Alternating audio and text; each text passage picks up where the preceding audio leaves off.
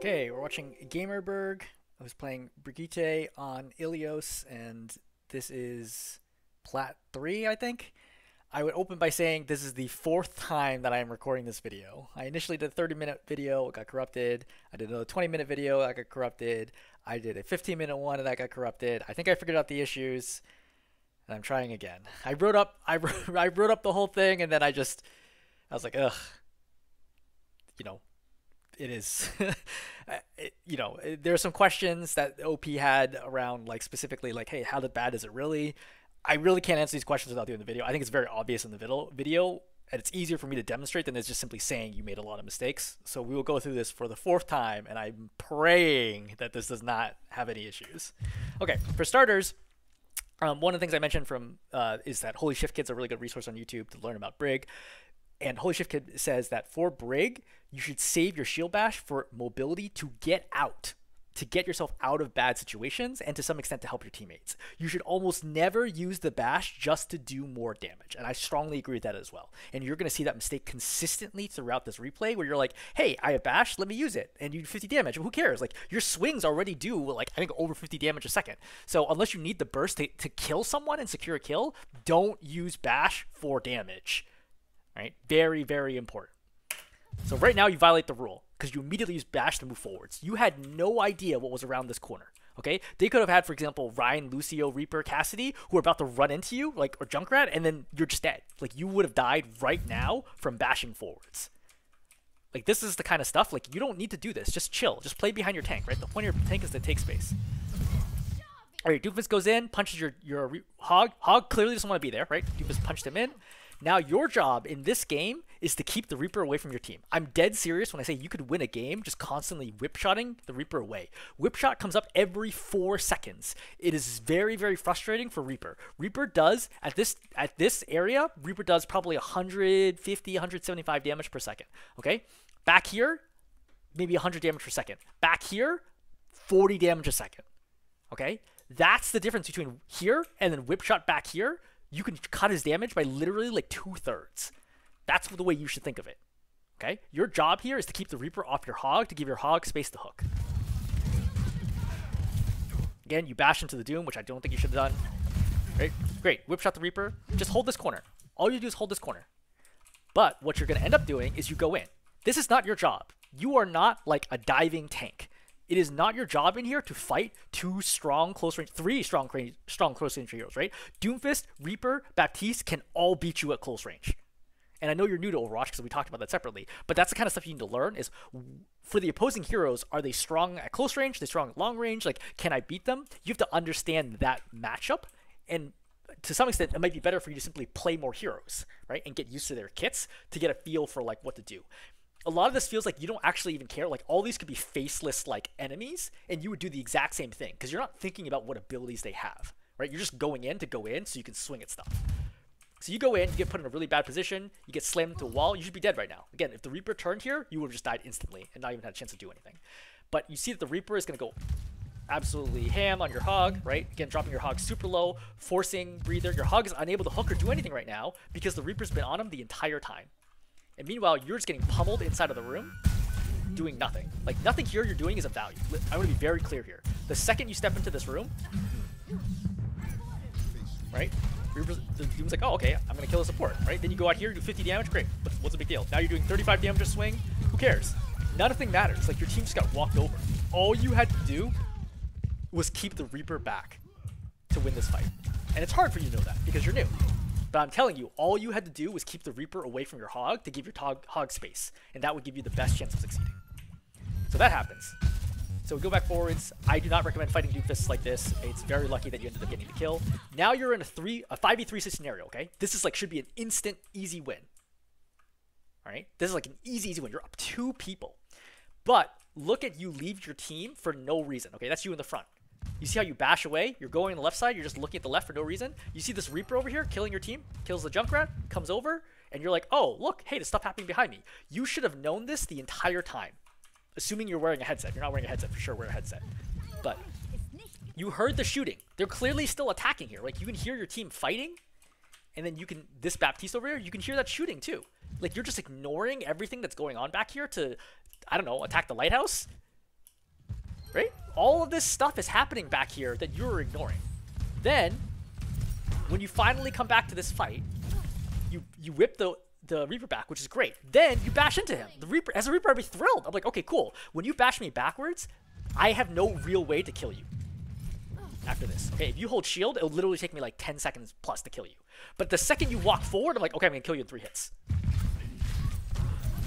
Right? You're lucky that he whiffs as many shots as he does right here, because you're just. Then, it's a five on two.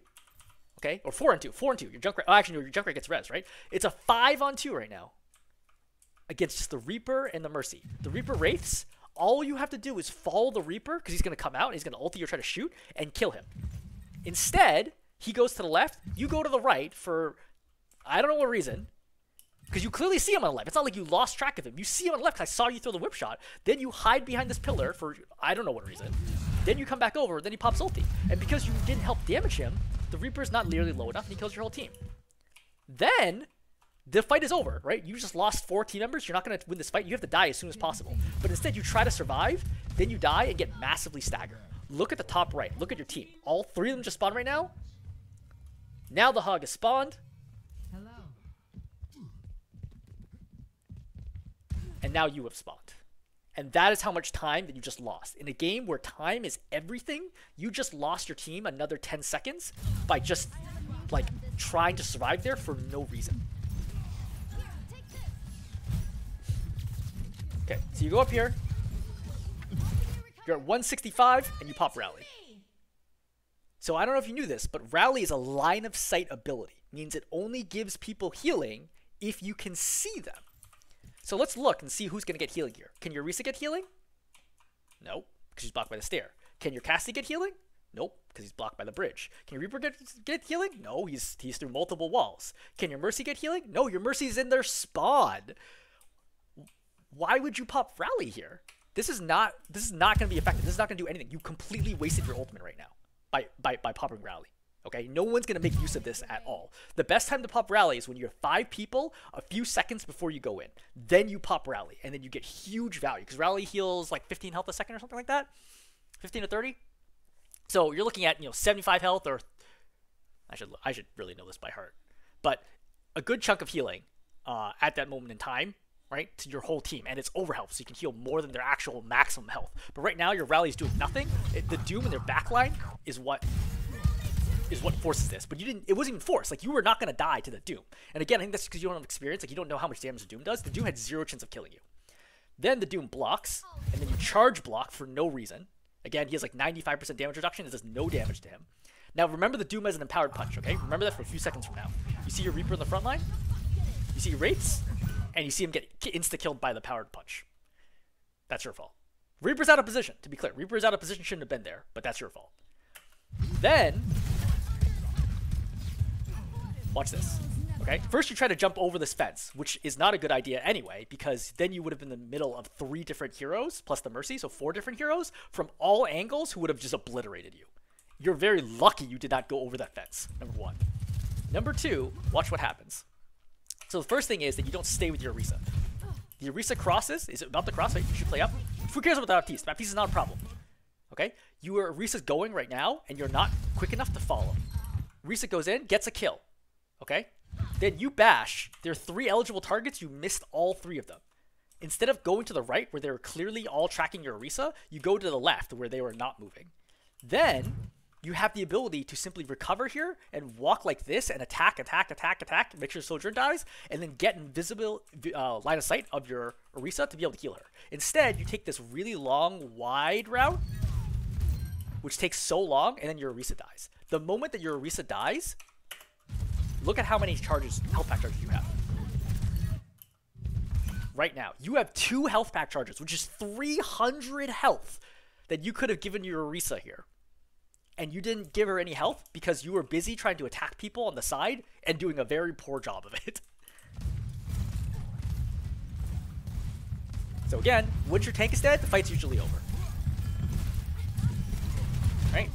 At this point, nothing really matters. Oh yeah, this is this is this is where it gets even worse. So again, your dead. Fine, maybe we can turn this fight. You see your Cassidy's low. This is not just a replay thing. You can always see teammates through walls. You see your Cassidy is low right now.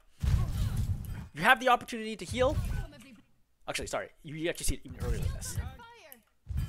So again, like you're trying so hard to kill this Doom, which is not gonna die. Right here, you saw that Cassidy was low. You should have turned to the right and healed the Cassidy. Okay. Instead, you don't. Right? You get punched back, and then you heal the Reaper instead of the Cassidy, and he dies. Then you ignore the Reaper, go over here, and go out, and the Reaper kills your other Reaper. I'm gonna show you what that looks like from the top-down perspective, and just show you just how bad this is. So Watch. All right. So Reaper's low. You notice that you have line of sight right now. You could have healed him with a health pack charge, which would have changed everything. Still here, still here, still here. Still hasn't got healing. Dies. Okay, great. At least at this point, you've made a mistake. Fine. Kill the Reaper, and then and then go back in. Now watch this. You see how their Reaper just killed your Reaper? Now, granted, this is a mistake. Your Reaper's whiffing really bad here. But why not just walk over here, do one melee swing, kill him, and come back and heal your Reaper? You know, like it's not like you can't hear this happening behind you. The Doomfist is at full health with overhealing here. Not quite full health, but like effectively full health here.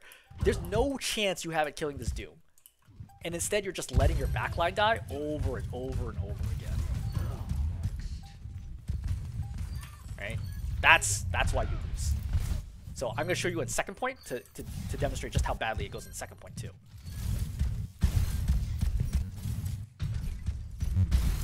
Alright, Reaper dies here really quickly. Not a ton you can do. Your Ramattra steps forward, does his job, makes space. Okay, whip shot here to farm fire. Great. That's fine. Everything is okay so fine. Then you decide to go and fight the, the Reaper, okay? This Reaper is being pocketed by the Mercy.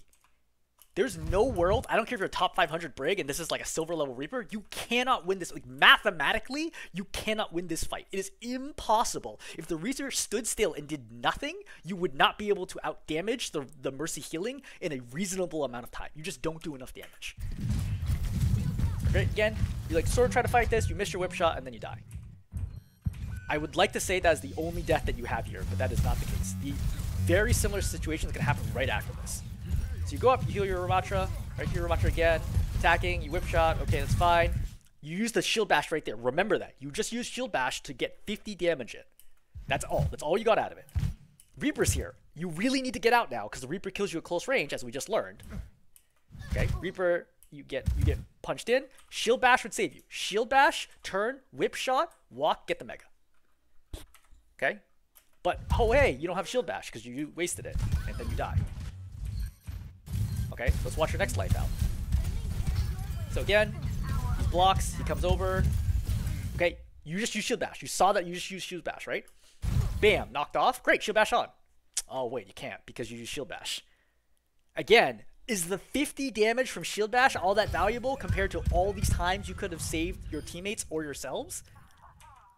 Like basically every single one of your deaths you could prevent if you had shield bash. Right? Late to the party, So right here, this is also super bad. Again, you're like attacking the Mercy, and the, the Sojourn's gonna die. Okay? So right here, you see the Sojourn's on high ground getting attacked. So let's watch the Sojourn, right? Fighting, fighting, fighting, fighting, fighting, slides, comes in, comes after supports, dies. At no point in time did she get healing.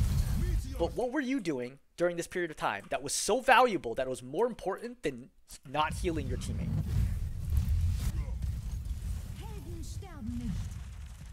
Did it seem like anything you did there, right? Let's let's wind it back again. Did it seem like anything you're doing right now is more important than healing your Sojourn? You're just swinging at the wall, right? Missing whip shots, right? Sort of hitting the Valk Mercy. Yeah, I mean, again, like you're new to the game. I mean, I'm not trying to be like super mean to you. I'm just trying to clarify. Like you really don't look like you know how to play Brig. It's actually very surprising to me that you're plat. I I'm not sure if you actually got the to Brig to to plat playing Brig or not, but there's like a wide gap between like where you need to where you are now and where you need to be as Brig to keep climbing or, or even probably stay your rank. Like I would guess if you keep playing Brig exclusive right now, you're probably gonna win only about twenty to twenty five percent of your games. Um, to be to be honest. So and like that's kind of the interesting thing, right? If you want to get better at Brig, just keep playing Brig. Even if you're gonna lose games, it's okay. And I, I that happened to me. Like when I played, for example, I like one trick D.Va for a while in Overwatch One because I want to get good at her. And I was originally GM. I started I started one tricking D.Va and I lost like 700, 800 SR. So I went from GM all the way down to like mid slash low diamond. and then I climbed most of the way back up as D.Va because I figured out like how to play D.Va. So if you want to play Brig and you want to get better at Brig, go go right ahead. Like I don't think you have to switch unless you want to win. If you want to win, then play your best hero, right? But like there's a limit to like how far you can run that unless you want to one trick a hero forever. But in terms of like expected value output, you're nowhere close to where you need to be as Brig. So again, overall big summary is focus on your team more and on the enemy team less. Stop trying to pick fights with them, right? Stop trying to go and get killed because you're not even good at reading when you can get kills. So instead, focus on what does my team need? Who needs healing? Who needs peeling? Who do they need me, me to bodyguard, right? That's the valuable stuff that you can do as Brig that will influence and win games, not trying to hunt people down for kills in, in the neutral phase. Hopefully that's helpful. And hopefully this video doesn't get corrupted.